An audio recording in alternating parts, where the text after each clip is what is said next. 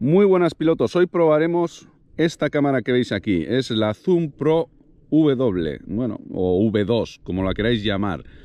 Es distinta a la que vimos antes, que es la V1, la que está a la izquierda, y sobre todo la mayor diferencia es que tiene un ángulo, digamos, de visión más amplio, un punto que en su momento echamos de menos a la V1.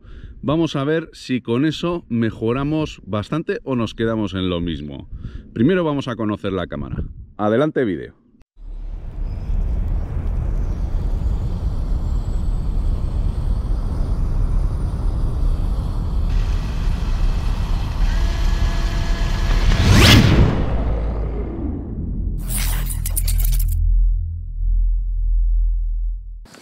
Aquí tenemos dos cajitas de Runcan. Elija, caballero, la que usted quiera. Si eliges esta, tienes una Runcan Zoom si eliges esta, tienes una Runcan Zoom.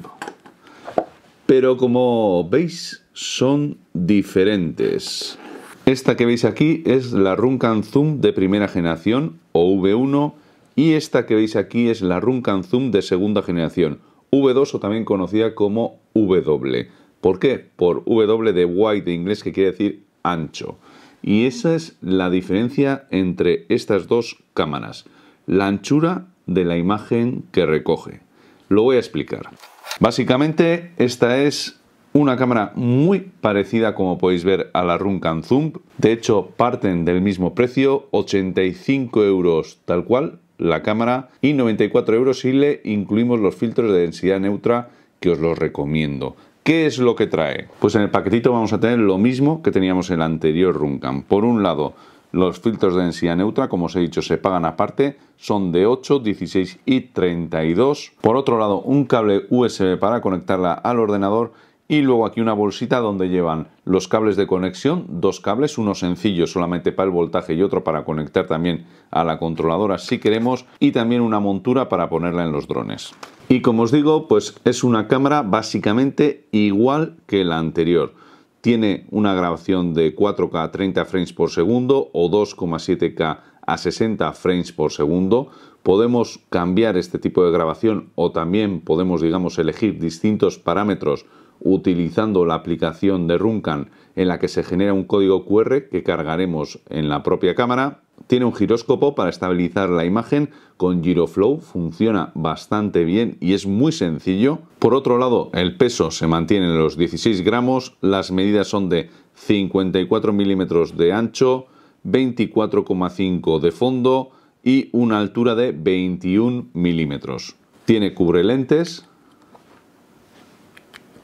que utilizaremos también para poner las lentes de densidad neutra en la parte de atrás veis que tenemos la conexión para conectarlo al dron. Podemos hacerlo con solo dos cables. Esto es al ground o una salida de 5 voltios. O también podemos conectarlo a un UART de la controladora para ponerla en marcha o pararla. Bueno, esto lo veo ya bastante opcional. Vamos a grabar en una micro SD que insertaremos en este huequito de aquí. Y hasta aquí llegan los parecidos con la cámara anterior, con la versión 1 que es la que tengo en este lado. ¿Cuál es la diferencia? Bien, la primera versión, que es esta de aquí, tiene una apertura, un FOB de 145 grados, mientras que la segunda versión tiene una apertura de 155 grados. Es algo que se le había pedido a Runcan, yo mismo en un email se lo comenté de esa manera, que veía que el FOB era un poquito justo, que hubiese estado bien que tuviera más apertura, y dicho y hecho, lo han cambiado, parece que ha sido bastante gente la que les ha comentado que sería buena esa mejora y tenemos esta nueva versión con un FOB más amplio y se nota, se nota mucho. Y antes de irnos a volar os quiero enseñar este cablecito que he montado con el cable sencillo que trae la cámara enchufado a este cable que viene para conectar a la USB de una GoPro se vende en AliExpress, abajo os dejaré el link. ¿Y qué es? ¿Para qué sirve? Bueno, pues no tenemos que hacer la conexión a la controladora, de forma que podemos usar la cámara en distintos drones. Lo que vamos a hacer es conectarlo directamente a la lipo, puede conectarse a lipos de 6S como esta, de 4S, de 3S, no hay problema. Y conectamos la cámara. Así. Y ya está. Ya tenemos la cámara alimentada y grabando sin ningún problema. Esto me ha gustado mucho. Puedo andar utilizando la misma camarita en distintos drones sin tener que andar estañando el cable en cada una de las controladoras. Es una buena idea. Pues muy bien, ahora que ya las conocemos, lo que tenemos que hacer es volar y ver qué diferencia tenemos entre las dos. A quien madruga Dios le ayuda y vamos a probar la camarita. La he montado en el Mark V ahora para hacer unas tomas tranquilitas. Veis que ahí está, la Zoom Pro versión 2. Y bueno, vamos a ver cómo graba. Volamos. Bueno, pues en este caso, aunque haya madrugado mucho, el de arriba no ha ayudado y como había poca luz, utilicé el filtro de densidad neutra y además una ISO fija, una ISO 100, pues las imágenes han salido un poco oscuras. Y lo cierto que es que, aunque son bastante chulas, yo creo, no era lo que yo buscaba, por lo que he tenido que volar el dronete con algo más de luz y con mejores condiciones, como veréis en el vídeo siguiente. De todas formas, quiero que veáis este para que os deis cuenta también con poca luz cómo graba esta cámara. Driveway is a nice range. Cause I grind through the climb, I invite pain. You'll never hear me, bitch, nah, I don't complain. Just gotta flip the switch and you can go and obtain Anything you want, anything you need. Your mind's got the key ingredient, it's belief. Uh, They're with the negativity. But I just slide right by that energy. Uh, Even when you feel low, you can still go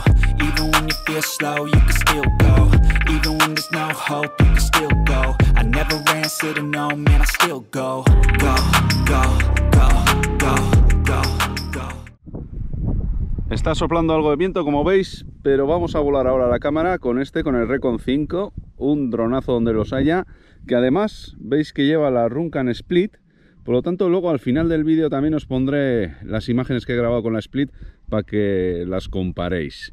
Vamos a hacer ahora un vuelo ya de mid-range a ver qué tal responde la camarita. Volamos.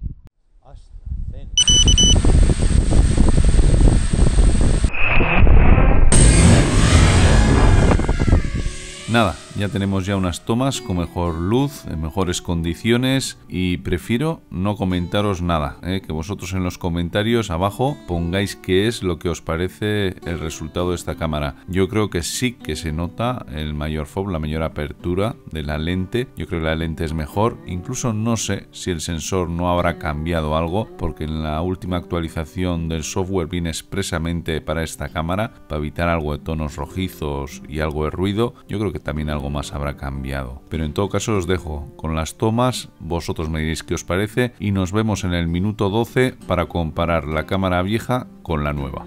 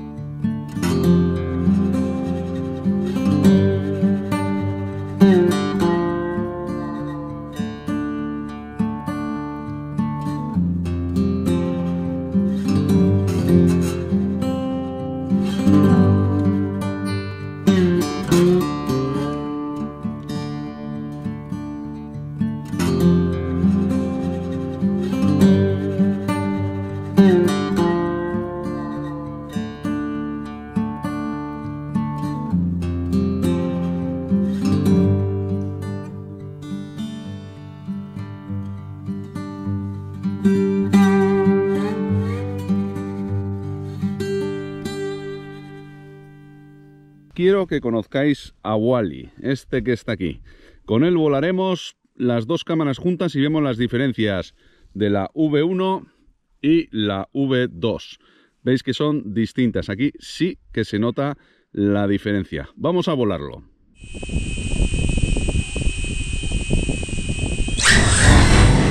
Aquí tenéis cara a cara la comparativa de las dos cámaras. Está grabado con poca luz, por lo tanto, bueno, no tengáis muy en cuenta la calidad de la imagen. Yo lo que quiero sobre todo es que veáis la diferencia que hay entre un FOB de 145, que es la cámara que está abajo a la derecha, digamos la V1, y un FOB de 155, que es la cámara que está arriba a la izquierda, esto es la V2 o W. Veis que hay diferencia. A mí me gusta personalmente con el FOB más abierto, ves más imagen, es más estable, te da otra sensación, aunque bueno, eso va por gustos. Además, bueno, siempre teniendo el FOB más abierto, puedes recortar la imagen y cerrar algo lo que sería el ángulo de visión, pero como os comento, va por gustos. Ya me gustaría que abajo me digáis en los comentarios cuál os gusta más. Muy bien, con estas tomas termino. Espero que os haya gustado el vídeo. Yo creo que por el precio que tiene la cámara merece la pena. No es comparable a otras de precio superior, pero graba bastante bien y teniendo en cuenta que las cámaras van muy expuestas en nuestros drones, pues tampoco es una tontería. Con esto terminamos, como os decía, y nos vemos en el siguiente vídeo. Hasta la próxima pilotos. Suscribiros al canal si no lo habéis hecho ya, que vamos a tener cosillas interesantes y darle al like si os ha gustado el vídeo.